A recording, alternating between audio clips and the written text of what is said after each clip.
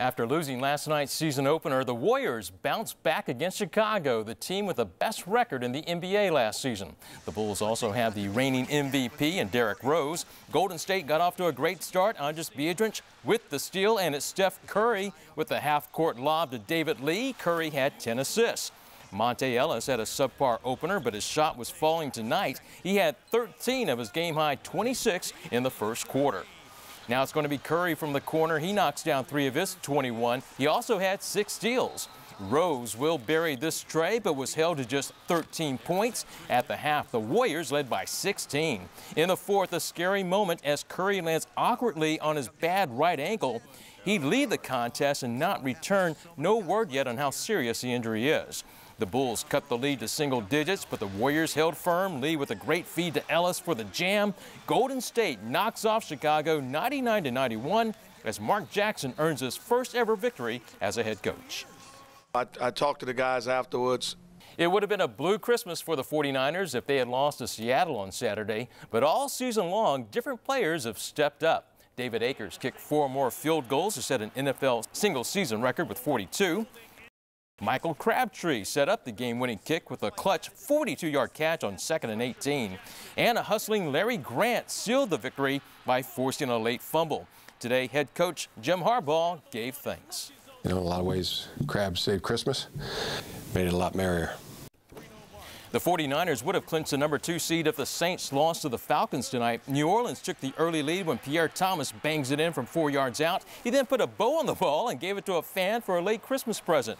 But the game ball went to Drew Brees, who threw four touchdowns and broke Dan Marino's single-season passing record of 5,084 yards. New Orleans wins easily 45 to 18 and improves to 12 and 3.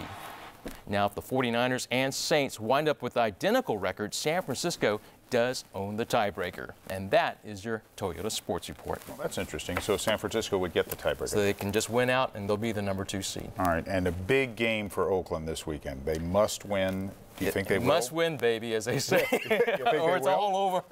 it looks pretty good right yeah. now. You know, they're going to be at home, right. and the Chargers really don't have a whole lot to play for. Their season's over. Norv Turner will probably get fired, so yeah, we'll hopefully they'll do it. Yeah. Let's keep our fingers crossed. Okay. Uh, Steph Curry, everybody's worried about his ankle, and he keeps hurting it again. Yeah, Warrior fans were holding their breath last night, right. but it looks like it's going to be okay. Really? Warriors guard Stephen Curry is now listed as day-to-day -day after re-injuring his ankle last night against Chicago. X-rays revealed no break, but he might sit out tomorrow's home game against the Knicks. With about six minutes left, Curry re-injured himself when he came down awkwardly on Kyle Korver's foot. Before then, he looked great with 21 points, 7 rebounds, 10 assists, and 6 steals. As for last night's win, Coach Mark Jackson was pleased but says there's a long way to go. Oh, it, we're never satisfied. By the way, former Warrior fan favorite Jeremy Lin has been signed by the Knicks, so he should be in uniform tomorrow when New York comes to Oracle Arena. Despite being thin at wide receiver, the 49ers have released veteran Braylon Edwards. He did play last Saturday, but has been uh, ineffective because of knee and shoulder injuries. The Pro Bowl rosters are out, and the 49ers tied the Patriots for most, most players with eight. Their running back Frank Gore tackle Joe Staley and kickers David Akers and Andy Lee. Making the team on defense, Justin Smith, Patrick Willis, and defensive backs Carlos Rogers and Dashon Goldson.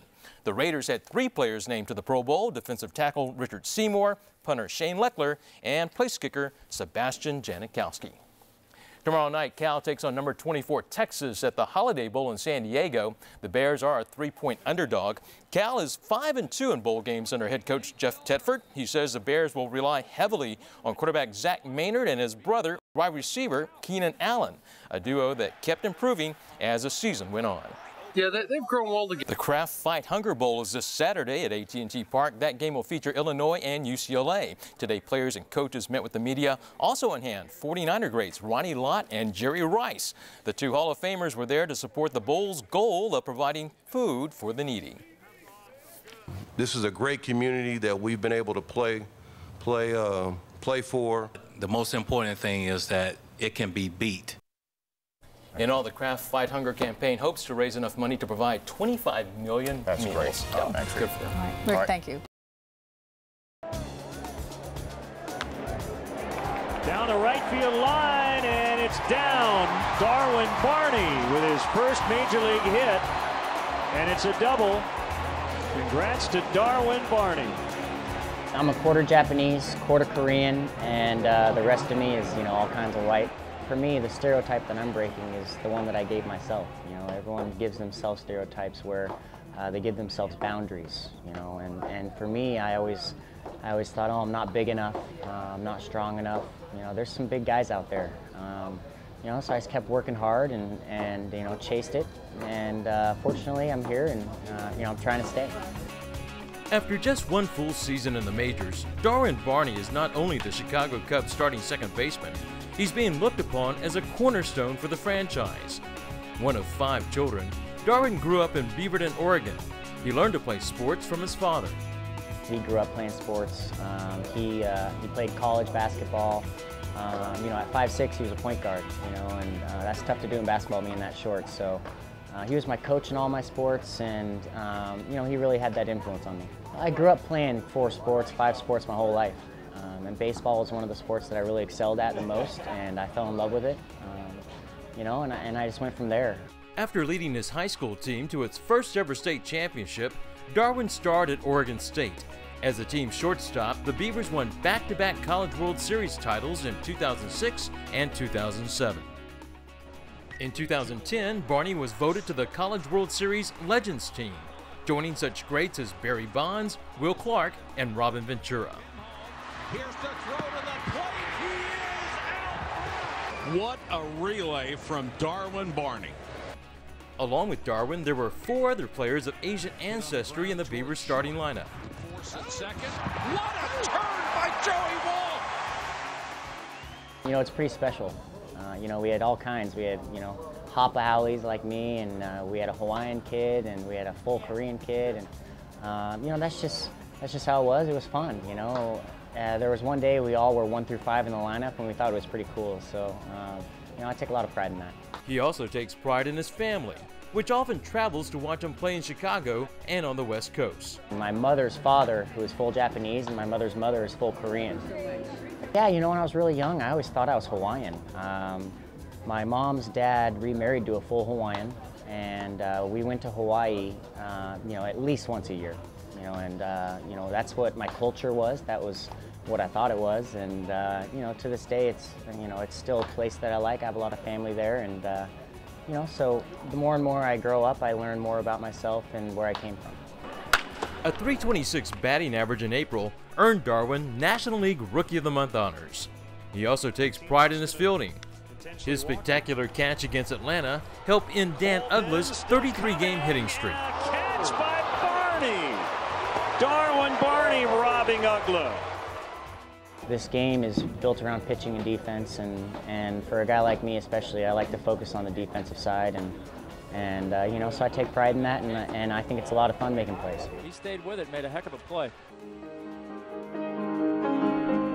Darwin is not just a natural when it comes to baseball, but playing piano. He plays by ear and writes his own music. You know, my parents kind of forced it on me at first, and you know, after I was done taking lessons, I kind of fell in love with it uh, on my own, and uh, you know, started listening to some CDs and heard some stuff, and I was like, man, I can play that. And so now I play everything by ear and uh, just have fun with it. But for now, he's having the most fun playing baseball for the Cubs it doesn't matter who you are. You know, you, you set your own boundaries on yourself. Uh, in life and in sports, it, it's all the same. Uh, you know, people are their own worst critic, and you know that's that's very true in, in life and sports. You know, so you know, don't set boundaries. Uh, you know, I try not to set my goals too low or too high. Um, just set your goals day to day and uh, go from there and try to have as much fun as you can. Boy, can't do it any better than that.